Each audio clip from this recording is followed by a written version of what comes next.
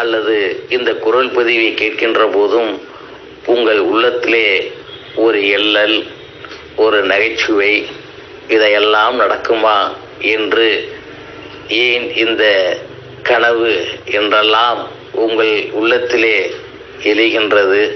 பல உறவுகள் மனதிலே ஓடவிடுகின்றார்கள். சிலர் பதிவும் செய்கிறார்கள். முத்திரையர்களே எதையும் முடியும் என்ற கண்ணோட்டத்தோடு ஒரு பாசிட்டிவ் எனர்ஜியோடு நீங்கள் முடிவு செய்து களத்தில் இறங்கிவிட்டால் உங்களுடைய ஜனநாயக கடமையை முழுமையாக நீங்கள் நிறைவேற்ற வேண்டும் என்ற எண்ணத்தோடு செயல்பட்டால் உங்களுடைய மக்கள் படைக்கு உங்களுடைய அறிவுத்திறனுக்கு இணையாக தமிழகத்திலே வேறு இனத்தில் ஆட்களே இல்லை. எப்படி சொல்கிறேன் என்றால் ஒரு முத்திரையர் ஒரு கண்ணோட்டத்தோடு வேறு ஒரு கண்ணோட்டத்தோடு ஒரு பதிவை போட்டால் அந்த பதிவுக்கு உடனடியாக பதிலடி தருவதற்காக அதை குதர்க்கமாகவும் சில நேரத்தில் உண்மையாகவும் இன்னும் சில நேரத்தில் ஆணித்தரமாகவும் உடனுக்கு உடன் வாட்ஸ்அப்பிலே பதிவிடுகின்ற பொழுது நான் மகிழ்ச்சி அடைகின்றேன் தமிழகத்தில் இருக்கின்ற இன்றைக்கு தலைவர்கள் யாரோ எழுதி கொடுத்ததை தப்பும் தவறுமாக படித்து கொண்டிருக்கிறார்கள் இரண்டு திராவிட கட்சியினுடைய தலைவர்களும். இப்படி வாட்ஸ்அப் குடும்பத்திலே ஒரு உறவினர் போடுகின்ற பதிவிற்கு உடனடியாக சிந்தித்து அதை திறனாய்வு செய்து அது நெகட்டிவாகவோ அல்லது பாசிட்டிவாகவோ பதில் சொல்கின்ற நீங்கள் கொஞ்சம் முயற்சி செய்தால் நீங்கள் சட்டமன்றத்திலே உறுப்பினர்களாகவோ இல்லை பாராளுமன்றத்திலே உறுப்பினராக சென்றால் ஆட்சியாளர்கள் செய்கின்ற தவறுகளை எல்லாம் உடனுக்குடன் சுட்டிக்காட்டக்கூடிய திறமை இருந்து நீங்க ஏன் முயற்சி செய்யாமல் இந்த வாட்ஸ்அப் குடும்பத்திலும் சாதாரண குடும்பத்திலுமே உங்களுடைய திறமையை வீணெடுத்துக் கொண்டிருக்கின்றீர்கள்?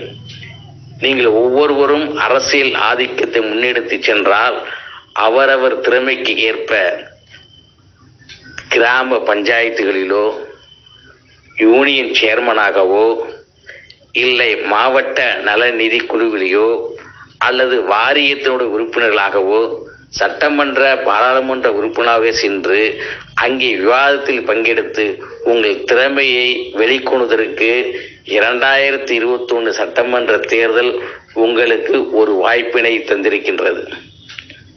அரசியல் ஜாம்பவனாக இருந்து தமிழர்களை முட்டாளாக்கி டாக்டர் கலைஞரிலிருந்து ஜெயலலிதா வரை ஆட்டி படைத்தார்கள்.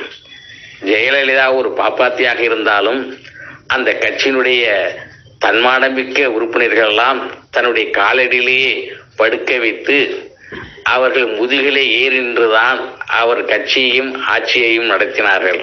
அவர்கள் விழுந்து கும்பிட்ட நிலையிலேதான் அவர் தலைவராக இருக்கின்றவரையும் இருந்தார்கள். அந்த அம்மையார் இல்லாத இன்றைய காலகட்டத்திலே அவர்கள் எப்படியெல்லாம் தங்களை ஒற்றுமை வெளிக்கொண்டிருக்கிறார்கள். ஒற்றை தலைமைக்கு அவர்களால் வர முடியாத நிலையிலே பதினேழு பதினோரு பேர் கொண்ட வழிகாட்டுதல் குழு வேண்டும் என்று அவர்கள் நினைக்கிறார்கள். அந்த பதினேழு பேர் கொண்ட வழிகாட்டுதல் குழுவிலே முத்திரைகளே என்று நீங்கள் ஆதங்கப்படுகிறீர்கள்.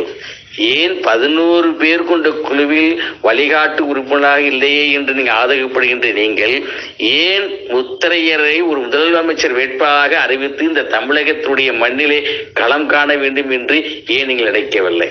ஏன் நாம் அவர்களிடத்தில் மண்டியிட வேண்டும்? ஒரு பாப்பாத்திக்கு கட்டுப்பட்டு ஜெயலலிதாவுக்கு கட்டுப்பட்டு அத்தனை பேர் கை கட்டு வாய்ப்புத்தி கீழே கிடந்தான்.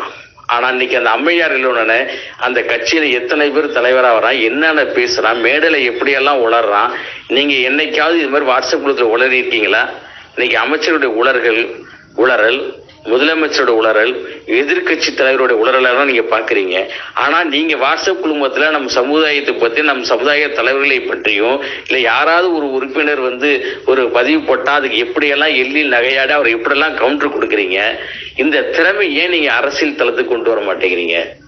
ஏன் எதிரியை நோக்கி போக மாட்டேங்கிறீங்க? நம்ம உறவில் நமக்கு உள்ளே குறை சொல்றீங்க. நம்ம உறவில் நம்ம ஏன் எள்ளி நகையாடிக்கிறீங்க ஏன் நம்ம வந்து ஒரு கு- கிணற்று தவளையாக இருக்க வேண்டும்? இந்த கிணற்று தவளையாக இருக்கின்ற முத்திரையர்களே நீங்கள் உலக அரசியல் தளத்திற்கு எப்போது வருவீர்கள்? உலக அரசியல் எப்போது நீங்க படிப்பீர்கள்? தமிழக அரசியல் எப்போது நீங்க மீட்டெடுப்பீர்கள்? நீங்கள் தமிழக அரசியலை மீட்டெடுத்து விட்டால் இரண்டாயிரம் ஆண்டுகளுக்கு முன்பாக கரிகால் சோழன் இமயமலைக்கு சென்று அங்கே சோழர் கணவாய் என்று அமைத்தான். அதற்காக பல்வேறு மாநிலங்களே அரசர்களை வென்றுதான் அங்கு சென்றான். அப்போது அவனோடு புறப்பட்ட பல முத்திரையர்கள் பல பேரிலே பல மாநிலங்களிலே இருக்கின்றார்கள். அவர்களெல்லாம் ஒன்றிணைத்தால் தமிழகத்திலே ஐம்பது கோடிக்கு மேலான வாக்காளர்கள் முத்திரையர் பட்டத்திலே பல்வேறு மாநிலத்திலே இருக்கிறார்கள். உதாரணத்திற்கு கோலி சமாஜ். இப்படி தமிழக அரசியலில் நீங்கள் மீட்டெடுத்து விட்டால் தெமிழன் தமிழகத்திலே அது வட தமிழகம் வரையும் அந்த புரட்சி செய்து ஒரு காலகட்டத்தில் இந்தியா முழுக்குவதுமே முத்திரையர்களுடைய ஆட்சிக்கு வருகின்ற அளவிற்கு பாரத பிரதமரிலிருந்து இன்றைக்கு பிரசிடென்ட் வரலையும் நம்ம ஜனாதிபதி முத்திரை வந்திருக்காங்க ஏன் நீங்க வந்து வாக்காளர்கள் மத்தியில் ஒரு புரட்சி செய்தால் தமிழக இந்திய அளவில் புரட்சி செய்தால் ஏன் இவங்க பாரத பிரதமரை உருவாக்க முடியாதா? இல்லை தமிழக சட்டமன்றத்தை முதல்வர் முதல்வர் உங்களால் உருவாக்க முடியாதா? இல்லை எடப்பாடி பழனிசாமி இருந்து இல்லை டாக்டர் கலைஞரில் இருந்து இல்லை புரட்சித் தலைவர் எம்ஜிஆர் டாக்டர் புரட்சித் தலைவர் ஜெயலலிதா அவர்களை விட நீங்கள் என்ன தரம் தாழ்ந்தவர்களா? உங்களுடைய குடும்ப பரம்பரை என்ன? நீங்கள் எந்த வகையான மன்னர் பரம்பரையில் பிறந்திருக்கிறீர்கள்? இந்த நாடாண்ட முத்திரைகள் பரம்பரையில் பிறந்த நீங்கள் ஏன் முயற்சி செய்யக்கூடாது?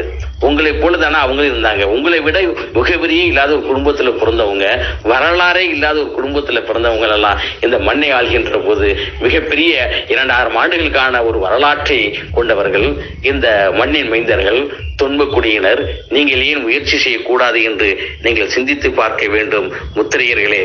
நீங்கள் எனக்கு பதில் என்னை எள்ளி நகை நடைய நகையாடுவதை விட்டுவிட்டு இதையெல்லாம் கனவு இதையெல்லாம் பிதற்றல் என்றெல்லாம் நீங்கள் என்னை தூற்றுவதை விட்டுவிட்டு ஏன் தொண்ணூறு கோடிக்கு தொண்ணூறு லட்சத்துக்கு மேலான ஒரு வாக்காளர்கள் கொண்ட முத்திரை சமுதாயத்தை ஒருங்கிணைத்தால் ஒற்றை கருத்துடைய பிற இனத்தார்களையும் ஒருங்கிணைத்து அவர்களுக்கு ஒரு துணை முதல் பதவி கொடுத்து அவர்களை இணைத்து ஏன் ஒரு தமிழகத்திலே புரட்சி செய்யக்கூடாது? இரண்டாயிரத்தி இருபத்தி ஒன்று சட்டமன்ற தேர்தலில் உங்கள் வசமாக ஆக்கக்கூடாது என்று நீங்கள் சிந்தித்து பார்க்க வேண்டும்.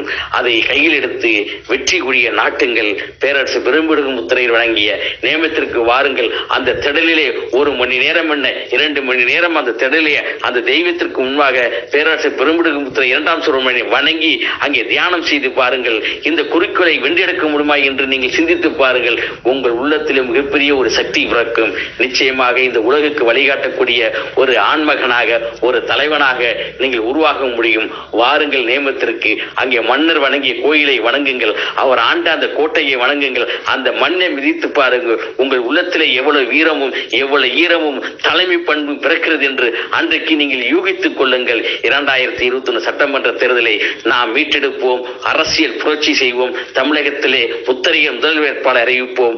மக்களே பெரும் வாக்காளர்களே முத்திரையர் வாக்காளர் பெருமக்களே நீங்கள் புரட்சியை கையில் எடுங்கள் ஒரே நேரத்தில் ஒரே இரவில் தலைவர்கள் ஒன்று திரட்டி வருவதற்கு பேரரசர் பிரம்பிடுகும் முத்திரை இரண்டாம் சூரன்மாரன் எல்லா வேலையும் செய்து கொண்டிருக்கின்றார். வாக்காளர்களே